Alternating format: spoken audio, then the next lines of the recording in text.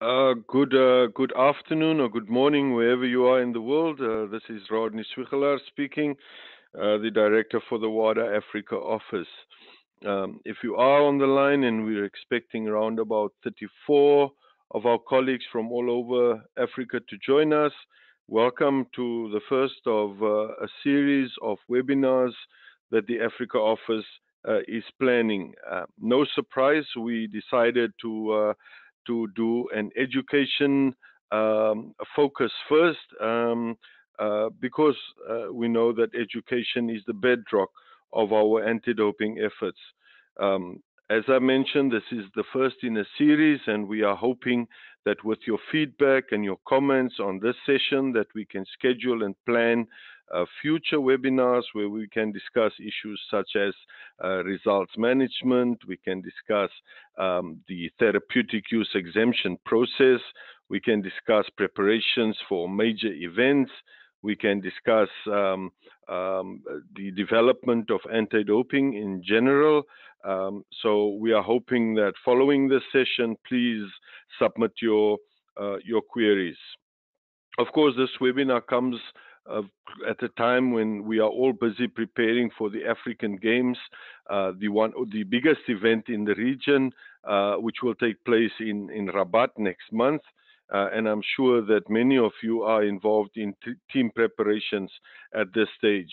Of course, education is an integral part of team preparations, and we are certainly hopeful uh, that our intervention here today will give you some ammunition uh, to take with you as you uh, work with your teams, assist the team management in preparing, uh, and generally speaking, ensure uh, that anti-doping is on the agenda for your team leaving for Rabat. We hope that you will find this intervention uh, useful and informative.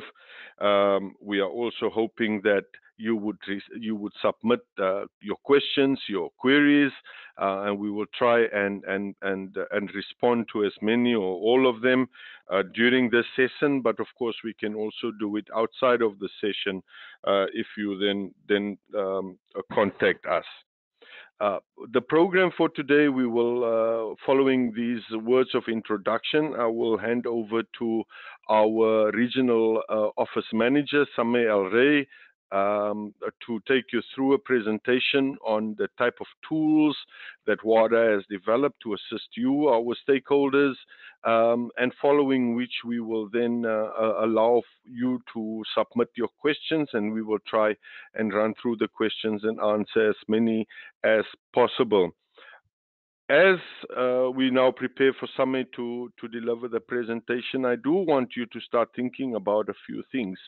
Uh, first of which is um, um, the African content, uh, the African continent is vast, very uh, uh, linguistically, socially, culturally diverse, and it would be good to hear your views and on how we can actually use this diversity as a tool in developing and implementing anti-doping education programs.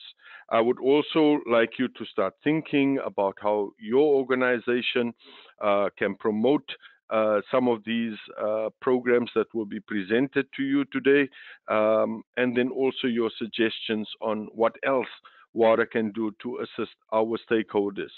So with those introductory comments, I hand over to, uh, to Sameh that will take you through the presentation. Thank you, Rodney, for that very profound and complete uh, introduction of what we'll be going through today. As Rodney said, this is the first webinar for education today. Tomorrow there is one for French-speaking ADOs. Going forward, we hope to have more of these uh, experiences and endeavors in the future which is why it is essential that we get feedback from you, not just on the content, but overall on the structure, on how useful it was, on what we can improve on in the future. As we're saying, this is a work in progress, so we are honored that you are joining us here for the first one, and hopefully for many more to come. Now, um, as you can see in front of you, the table of contents will be, we will just start on the overall general definition of education and anti-doping, where it comes from, um, what are the documents that make it that education is mandatory for anti-doping organizations, who is responsible for education and its implementation, WADA's role and what it provides in order for you to develop your own and implement your own education program, as well as the resources that are available on WADA's online platform, ADEL, as well as different others. Now, if we start, uh, of course, as uh, ADO administrators, you're all aware that the 2015 World Anti-Doping Code is sort of the cornerstone or the constitution of the anti-doping movement. It is a code that is signed by all anti-doping organizations, and it specifies in its Article 18 that education is mandatory. Now, education is uh, both information and education regarding anti-doping awareness and anti-doping activities. Now, the primary goal for education is not just to prevent intentional doping and raise awareness as to its dangers, but also to prevent unintentional doping. A lot of the cases that come before us are for athletes who are not aware of the prohibited list, are not aware of what a substance might or might cause or induce in their bodies, or might pop up on a unexpected test. This is why programs should not only be about awareness, but they should also be values based athletes should learn, and not just athletes, but everyone in members of their entourage and the members of the sports movement should be aware that cheating and illicit advantages do not only harm themselves and their health, but also harm the the competition, the free and the fair competition that should be preserved in all sporting activities. Now, education programs should not only be focused on athletes, as we say, athletes are certainly the most important link, but also on their personnel, on coaches, on doctors, on administrators, on everyone. That's why WADA provides resources for everyone and modules and courses, not just for the athletes, but for everyone influencing them. Now, as you are aware, the code is currently being revised. The final version should be adopted in the World Conference of Doping in Sport that should take place in Katowice in Poland this November, and the new version, the 2021 code, should come into effect on January 1st in 2021.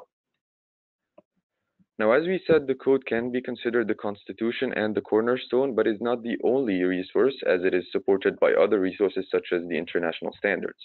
Now, currently, WADA has six international standards the International Standards for Testing and Investigations, the International Standards for Laboratories, the International Standards for TUEs, Therapeutic Use Exemptions, the International Standards for Protection for protection of privacy and personal information, the International Standards for Code Compliance by Signatories, as well as the Prohibited List. Currently, WADA is developing two more additional international standards, the International Standards for Results Management and for Education. Now, a draft has already been published and circulated in December of last year, 2018. And now the adoption is expected of these international standards in Katowice as well on the 5th to the 7th of November 2019, which is why your feedback is most important to know just how to develop this document and as well as your participation in the World Conference. Now, this international standard should come into effect as well as the code on January 1st, 2021, and it will be mandatory as is the case for all other international standards for all code signatories. Now, the, essentially, the focus of the international standard for education, much as the case with results management, is not to have one single approach for all countries. As Rodney said, Africa and the world, for that matter, is very vast linguistically, culturally. There are multiple ways to have a successful and efficient education program. What the international standard aims to do is to have a harmonized approach so that every ADO in the world can have a bare minimum and an essentially harmonized approach to have its own education program that could be fitted into its own cultural and linguistic needs. Now, other than the international standards in the code, there are the guidelines. The guidelines are not mandatory for code signatories, but they provide assistance and guidance on just how and what is expected of each, of each and every ADO. Now they are there to assess and design and help plan and implement and evaluate all of your anti-doping education programs. An updated version of the guidelines is also currently being developed and it should come into effect before the new international standards for education as well as the code in 2021. Now, as we said earlier, education is not just about the athletes. Athletes are certainly a very important link in this chain, but there are also different other ones that can be as harmful if not properly sensitized and educated as to the dangers and harms of anti-doping, not just for the athletes, but for competition generally. There's an old cliche in anti-doping that a chain is only as strong as its weakest link. And if any of these links is not as strong as the athlete, then the athlete himself and the movement is vulnerable. There are courses for doctors, for coaches, for parents, for lawyers, for agents, for educators, for everyone just to be sensitized on just how harmful doping can be and how we can use every ADOs into the anti-doping education program to prevent doping generally and for everyone. Now, a question is very important here is who is responsible for education? Many think it is WADA that is supposed to have an education program for all its ADOs. This is not the case. Article 18 specifies that every signatory shall, within their means and scope of responsibility, in cooperation with each other, plan, implement, evaluate, and monitor information, education, and prevention program for doping-free sports. So essentially, every single of our one of our 307 code signatories is liable and responsible to have their own education anti-doping program. They are supposed to plan it according to their needs and implement it according to their responsibilities. Now, on a national level, and I know we have a lot of administrators with us, two signatories are available either a national anti doping organization, a fully fledged NADO, or a National Olympic Committee in case this NADO has not yet been established. Now, since this webinar is essentially for African uh, countries, it is important that we state that currently we have 26 established NADOs and 28 NOCs operating as NADO. It should be also noted that some of these NADOs have been established and have been uh, have signed the, the, the World Anti-Doping Code, but they are not functional. Therefore, the NOC still has to take responsibility for a lot of their activities. Now, the International Standard for Education will highlight in detail each and every responsibility for each and every ADO. Now, the National Anti-Doping Organization, according to Article 7.2.1, each national, each national anti-doping organization shall be the authority on education as it relates to clean sport within their respective country. NADO should support the principle that an athlete's first experience with anti-doping should be through education rather than doping control. The ISE then goes on to state that each NADO shall devise an education program for those under their authority and who are there in their education pool. The NADOs shall document an education plan to demonstrate how their education program will be implemented and monitored, and they should evaluate their education programs annually. Now, this essentially means that every single NADO that is established should have an education plan that is foreseen for the coming year, and it should have as an objective that every athlete is able to access anti-doping knowledge and anti-doping education, not through testing, but through education. Now, the NOC has a very particular role, whether that be that there is an actually an effective and efficient active NADO in, in place or not. Now, if there is a NADO, then the NOC is liable for supporting this NADO to have its own anti-doping education program as well as other anti-doping aspects. This is highlighted in Article 7.5.2 that if a NADO should exist, then the NOC should cooperate with this NADO to have not just education but all anti-doping programs. Now, in case a NADO does not exist, which, as we said, is the case for 28 African countries, then the authority on education, just as the case with all other anti-doping programs, relies solely lies solely on the NOC. Now, there are also other signatories not on the national level, but on the international level, such as international federations. And these are also mentioned in the ISE.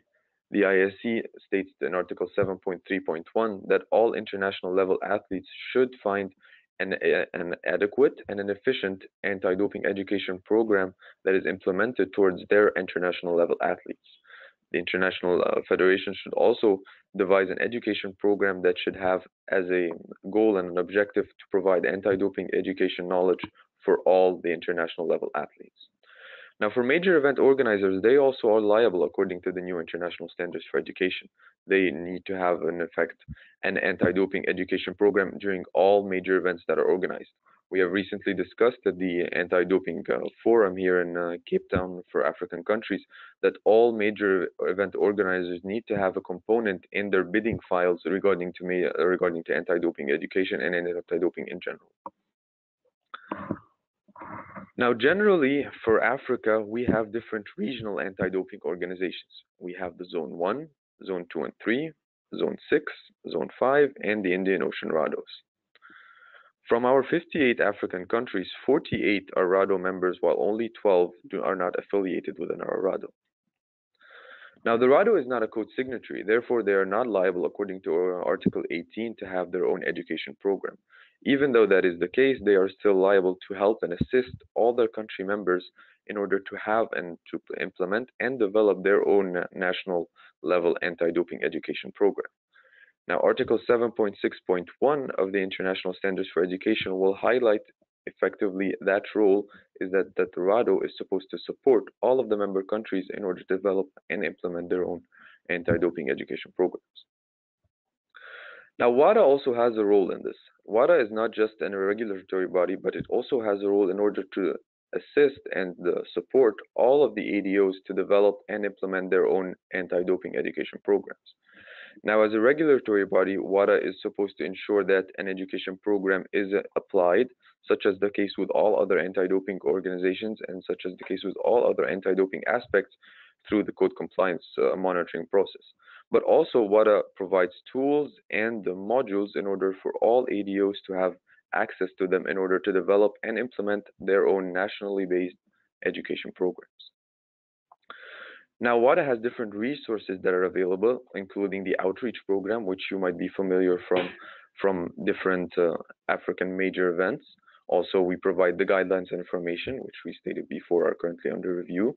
We provide different books, games, and videos that enable you to access education in uh, anti-doping. We provide the toolkits, which we'll be learning about three, uh, shortly, and the e-learning platform, which is ADEL. Now, WADA provides the At a Glance series.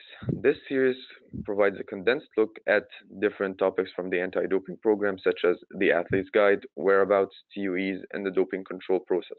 These are easy to produce. They're available in different languages, such as French, English, Spanish, which are the main languages in Africa, and they're also accessible and very helpful in order for different types of uh, athletes or administrators just to have a condensed and an overview look of the anti-doping department.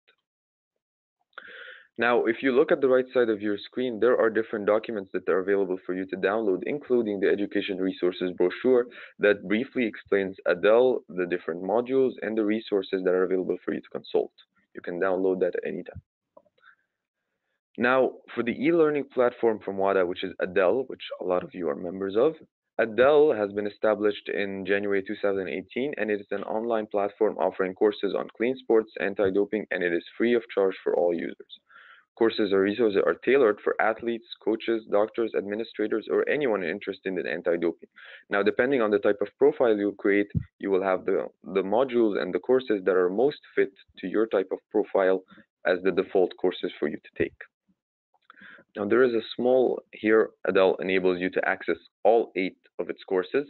Alpha, which is available for athletes, Coach True, which is available for all coaches, Parents Guide, which is available for uh, parents, the ABP Athlete Biological Passport uh, module, which is available exclusively for and uh, for athletes biological passport experts and people affiliated with the Athlete Passport Management Unit (APMU), the Information Security Awareness course for everyone (iSafe), the University textbook, as well as the Sports Physician's Guide. Now, creating an account on ADEL is very simple. This is a small tutorial on how to do it. We'll just need to press register. Choose a username, indicate an email address, password, some information. Now, every information that has a red asterisk next to it is mandatory. Others, such as federation, organization, or the athlete ID, are not. But if you have them, then it would help us a lot. You will need to read through the terms and conditions, like you do for every website you sign up for. And then verify you're not a robot, and the account would be created. Now, just to have an overview of ADEL, ADEL provides different courses, such as we said, the eight aforementioned courses. Just when you go to the home page, you will find the courses. As we said, depending on your type of profile, it will be popping up directly. Now, Alpha is available in different languages, including English, French, and Spanish. iSafe is available in English and French. ADO Kickstart, which perhaps is the most important for administrators present in this webinar, is available now in English and French. And you will also get the latest news from social media, whether that be WADA's Twitter account or the Facebook page. You'll see some related to Africa.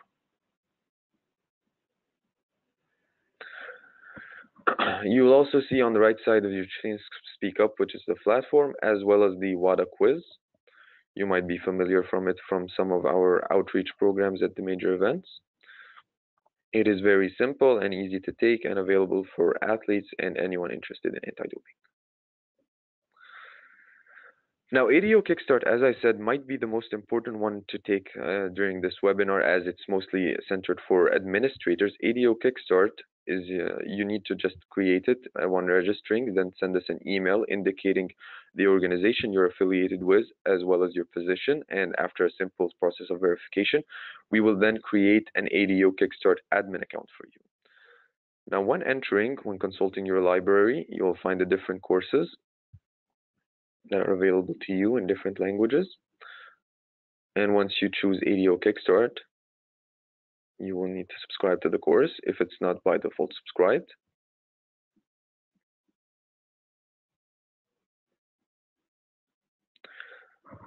And then by pressing start lesson, you will find different information on all the important uh, elements of an anti-doping program, education, INI, TUEs, testing, results management, privacy protection, and ADAMS. You will find all the necessary information there for any anti-doping organization administrator. Now you can also use ADO Kickstart to help some of the uh, the uh, the users that are affiliated with your jurisdiction. Now once choosing your password, you can then help them reset their password. They will just need to indicate their username and then indicate a password. Log in. You will then you go to user admin, which will show you all the users within your jurisdiction. Now this is of course confidential information, so it is blurred out, but you will see all of the users within your jurisdiction on that list. If you're also looking for a particular user, you can go in and choose from the search bar, switch to users,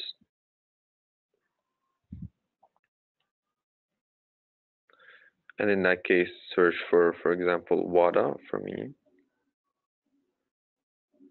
Press on search, and then find the profile you're looking for. This is, in the case, my profile and find all the necessary information that you need. Now you can also use it, as I said, to change someone's password. If they require assistance, they will just need to indicate their email address, which is for me, for example. Once that is done, they will just need to check this box. And they will receive on that email address information how to create their new password. If someone, if a user also requires that you change the password for them and create a temporary password, you can do so by going on to users, searching for the user you require. For example, I'm going to search with my first name, Samia. Choose it, and then go into edit.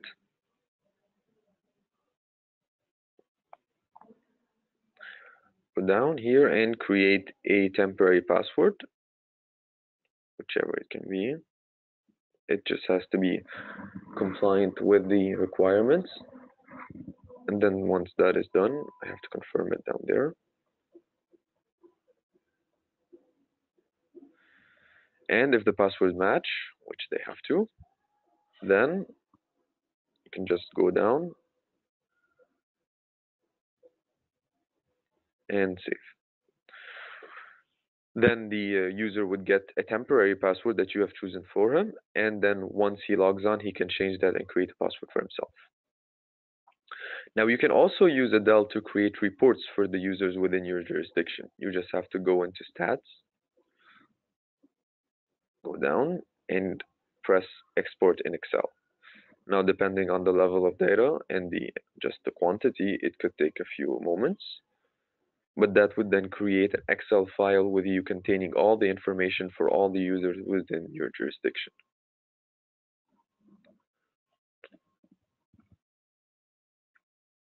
The file will be downloaded once it is done. Now you can also render reports based on a country or a sport in particular. You will have here the list of all your countries within your jurisdiction as well as all the sports.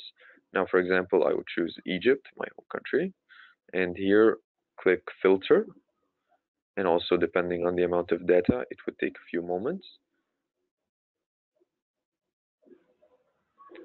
But then it would pop up.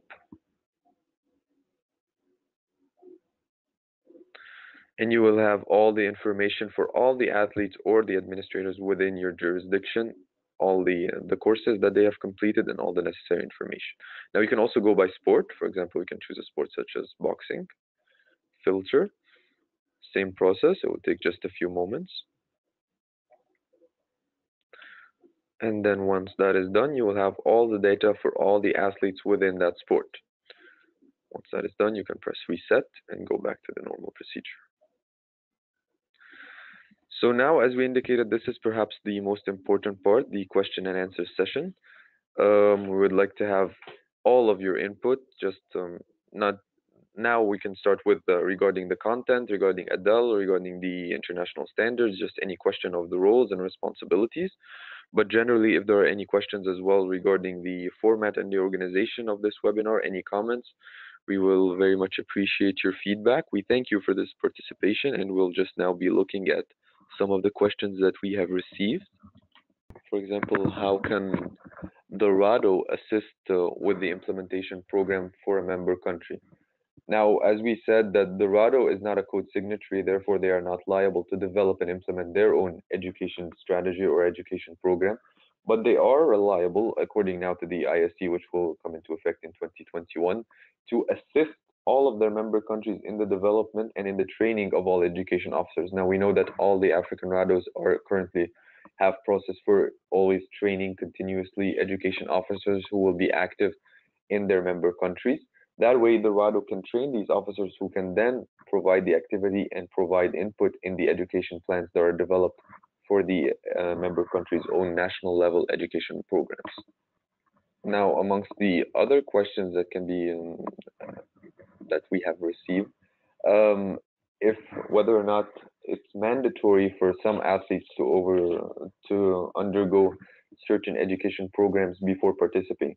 Now it depends, of course, on the competition, but multiple uh, major event organizers make it mandatory for athletes participating in an event to have at least gone through an education session with the NADO of their country.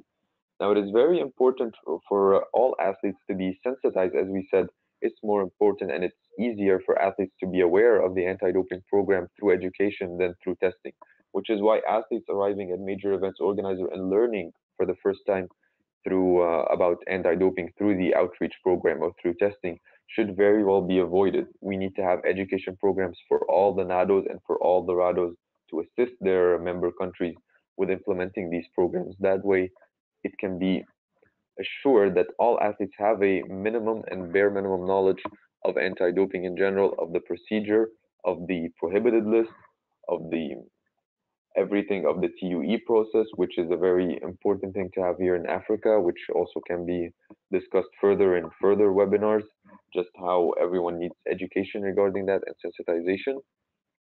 Um, but that is one of the most important things. Now, there is another question. Can we get more material for the outreach program?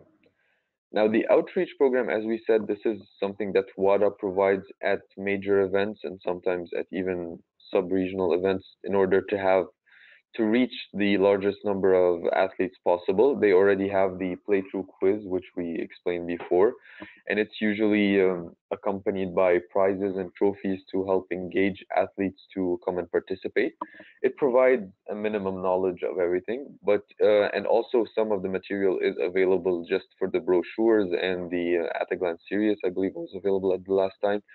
So the the maximum amount of of education of sensitization that can be done during that the games period, which is 10 days or two weeks maximum, is done I think through the outreach program, but it is not sufficient because not all of the athletes on a national level participate in these international events, as well as it's by then they should really have a high level of awareness regarding anti-doping. We can't wait for them to go to an international competition to just be exposed to that level.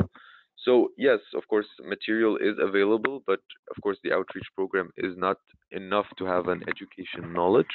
If Rodney would like to weigh in on this, I would just I would just like to add that uh, of course WADA developed the outreach model, which is available to any uh, stakeholder interested in having or running their own outreach program at the events. Um, this package is free of charge. You only need to apply to WADA for that material, uh, and we would gladly send that uh, to you. Many of the African stakeholders have already requested uh, the outreach model, and some of them have been implemented with significant uh, successes at the event. Uh, you should just be mindful that it is almost impossible uh, in terms of, of budget for WADA to be able to provide materials uh, to everybody wanting these. That is why we develop templates uh, that can easily uh, be used by our stakeholders to replicate in their country uh, using various means. So uh, we still provide the materials, but um, we we rather encourage our stakeholders to find ways uh, to develop these at the at the local uh, level. If you are still interested in the outreach model and you have not received this previously, I do um, suggest that you uh, either check on our website, alternatively contact the regional office uh, if you are interested, and we can uh, we can then uh, try and facilitate that you that you receive that. Yes. Uh, the question on Portuguese. Portuguese is certainly a key country in the region. We know Angola, um, Mozambique, uh, um, Cabo Verde. Uh, so, so um, no, absolutely, Portuguese is one of the key languages of the region. And I can advise that we are currently in the process with the support and assistance of the Brazilian National Anti-Doping Organization to see or to have Alpha um, and other courses translated into Portuguese. So once that is available, we will then be able to uh, uh, to advise you, and then you can access those modules in in Portuguese. Just to clarify, also most of these translations, just as Rodney specified, are done by association with a NADO or an NOC. For example, the Brazilian NADO and has taken it upon themselves to help us translate the content and render it available. So currently we don't have any of the major African languages on, such as Arabic, Swahili. So if any NADO um, seems to be fit to translate any of the content to that language, it would of course make it more accessible for their athletes. Not all of the athletes would speak these different languages that are available currently. So if any NADO can take it upon themselves to offer us and to help. And uh, we, of course, will collaborate on this to translate any of this content to any of our African languages. That would be a huge assistance. I know it's already being developed in Arabic with uh, some of the Gulf countries, and that would be a great help to a lot of Arabic Arabic-speaking countries in the region. But also, if it's any uh, if any uh, other African languages that are essential for us and for all just athletes to be sensitized, then we would love to have the uh, ability and the opportunity to cooperate with any NADO or NOC who would be interested in this. Um, now there is a, another question. Is there a provision for a paper-based program for ADEL? Um, now, un unfortunately, currently we do not have an offline version of the modules but we are still looking into this as we are aware that internet difficulties can of course happen and uh, they can render it difficult to access the platform. Um, but unfortunately everything currently is online because we have to have tracking purposes such as we just illustrated. You can have reports on your users and users within your jurisdiction what courses they've completed what scores they got. So in order for you to have that access you will need to have it on a online basis, but just on an offline basis in order to be able to maybe deliver them in sessions that can be available that is already available for the quiz which is done in different sessions without internet uh, utilities.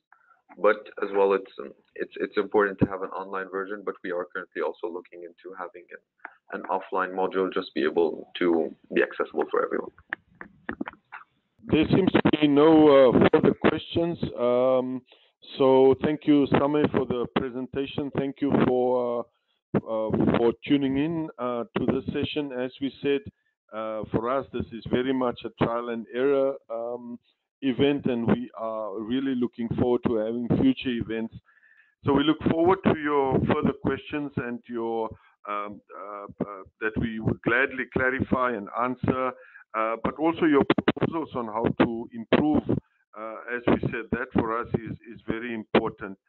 So um, with that, um, thank you very much for logging in. Um, we had uh, uh, almost 20 people, but we are aware that many of you are sitting around one uh, laptop, one computer in an office. So you are all very welcome, uh, and we look forward to our future engagement. Thank you very much.